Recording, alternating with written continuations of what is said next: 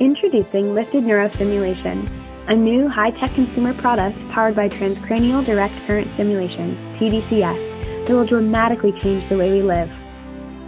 Transcranial direct current stimulation, TDCS, is an increasingly popular form of neurostimulation that applies a low-level electric current through two electrodes to targeted areas of the brain as an alternative to chemical stimulants. Using Liftid neurostimulation for 20 minutes a day trains the brain to maximize attention, focus, and alertness, putting the Liftid user in the right mindset to accomplish tasks and perform at a higher level. Liftid is lightweight, fashionable, easy to use, developed by a world-renowned science team, and the perfect device for elevating performance.